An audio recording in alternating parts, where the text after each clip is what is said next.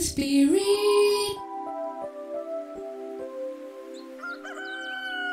Selamat pagi, semangat pagi. Selamat pagi Bapak Ibu dan saudara-saudariku yang dikasih oleh Tuhan Yesus Bertemu kembali di dalam Morning Spirit Pagi ini kita akan belajar firman Tuhan dengan tema Kekhawatiran hidup, kekhawatiran hidup Apa pun alasannya, kekhawatiran hidup tidak ada faedahnya bagi hidup kita Karena itu, tolaklah segala bentuk kekhawatiran dengan bersandar sepenuhnya kepada Tuhan Yesus. Di dalam Filipi pasal 4 ayat 6 sampai 7 firman Tuhan yang terkenal berkata, "Janganlah hendaknya kamu khawatir tentang apa pun juga, tetapi nyatakanlah segala hal keinginanmu kepada Allah dalam doa dan permohonan dengan ucapan syukur. Damai sejahtera Allah yang melampaui segala akal akan memelihara hati dan pikiranmu dalam Kristus Yesus."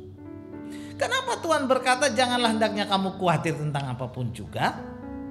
Karena Tuhan tahu persis saudaraku bahwa manusia setiap hari dapat dikuasai pikirannya dan hatinya oleh kekhawatiran hidup.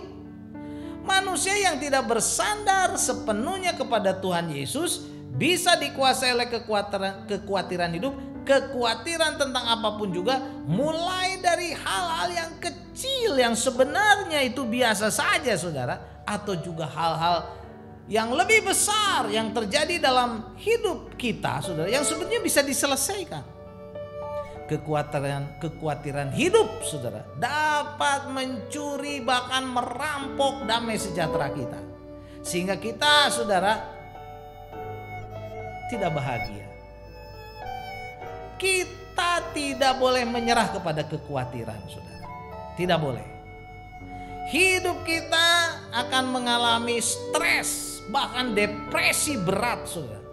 Kekhawatiran hidup jangan sampai kita pelihara, kita simpan. Kekhawatiran hidup harus dibuang, saudara, jauh-jauh. Matius 6 ayat 25 sampai 27 berkata karena itu aku berkata kepadamu Janganlah khawatir akan hidupmu akan apa yang hendak kamu makan atau minum. Janganlah khawatir pula akan tubuhmu apa akan apa yang hendak kamu pakai.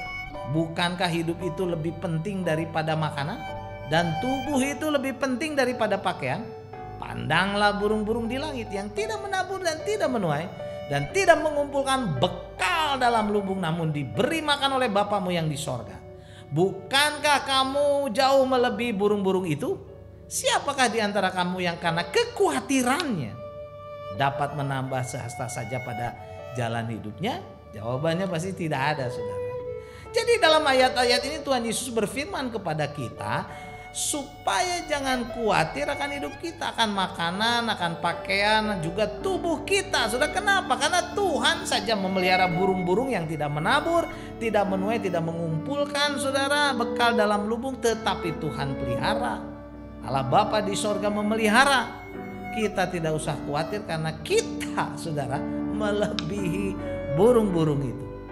Jadi firman Tuhan berkata kekhawatiran tidak menambah sehasta saja pada umur kita. Sehasta itu ukurannya sudah 45 cm.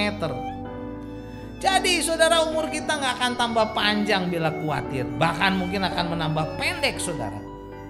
Saudaraku, mari biarlah hidup kita sudah dipenuhi dengan sukacita dan kegembiraan.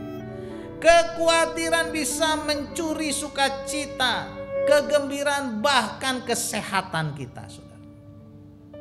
Amsal 12 ayat 25 berkata, "Kekhawatiran dalam hati membungkukkan orang, tetapi perkataan yang baik menggembirakan dia." Juga di dalam Amsal 17 ayat 22 berkata hati yang gembira sudah ayat yang terkenal ini. Hati yang gembira adalah obat yang manjur saudara. Tetapi semangat yang patah mengeringkan tulang. Kekhawatiran dan semangat yang patah membuat tulang kita tidak sehat.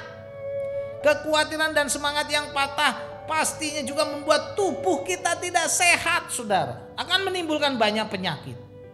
Mari saudara kita hilangkan, kita kita serahkan semua kekhawatiran kita kepada Tuhan.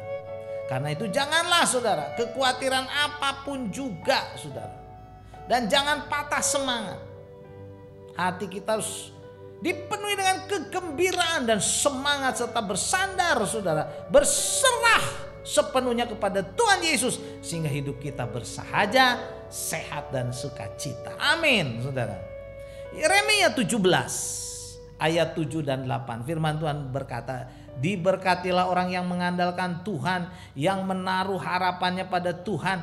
Ia akan seperti pohon yang ditanam di tepi aliran air, yang merambatkan akar-akarnya ke tepi batang air, dan yang tidak mengalami datangnya panas terik, yang daunnya tetap hijau, yang tidak khawatir, yang tidak khawatir dalam tahun kering, dan yang tidak berhenti menghasilkan buah. Puji Tuhan.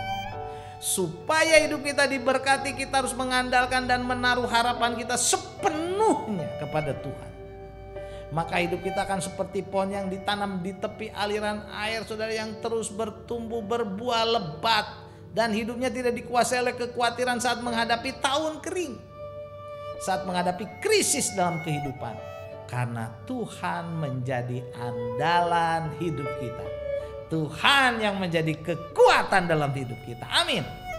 Mazmur 55 ayat 23 berkata, "Serahkanlah kuatirmu kepada Tuhan, maka Ia akan memelihara engkau tidak untuk selama-lamanya dibiarkannya orang benar itu goyah." Puji Tuhan. Serahkan Saudara semuanya kepada Tuhan kekhawatiran kita. Tuhan memelihara kita.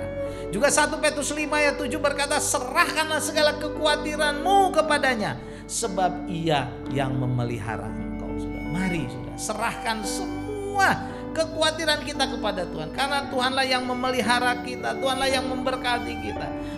Tuhan tidak akan membiarkan orang-orang benar hidup goyah. Tuhan memelihara orang-orang yang percaya kepadanya. Sudah percayalah. Siapa pun kita saat ini mungkin sedang dipenuhi kekhawatiran, kegalauan, ketakutan karena banyak masalah, banyak problema, mungkin sakit penyakit, masalah keluarga, masalah ekonomi, pelayanan, bisnis, masalah teman hidup, sudah masalah-masalah lain. Serahkan semua kepada Tuhan. Karena Tuhanlah yang memelihara kita. Sudah mari kita sungguh-sungguh berserah kepada Tuhan. Masalah apa pun, masalah-masalah berat, masalah problema apa pun, saudara, jangan khawatir. Tuhanlah yang memelihara kita. Percayalah, saudara. Saya bacakan lagi 1 Petrus 5 ayat 7 firman Tuhan berkata, serahkanlah segala kekhawatiranmu kepadanya, kepada Tuhan saudara, sebab ia yang memelihara kamu. Percayalah bahwa Tuhan memelihara kita. Amin. Mari kita berdoa. Tuhan kami serahkan semua kekhawatiran kami kepada Engkau. Karena Engkaulah yang memelihara kami. Dalam nama Tuhan Yesus kami berdoa. Amin. Amin Bapak Ibu saudara-saudariku yang dikasih oleh Tuhan Yesus. Bila kita diberkati oleh Morning Spirit ini silakan klik like, subscribe, bunyikan loncengnya dan bagikan kepada banyak orang. Sampai bertemu dalam Morning Spirit selanjutnya. Morning Spirit. Selamat pagi, semangat pagi.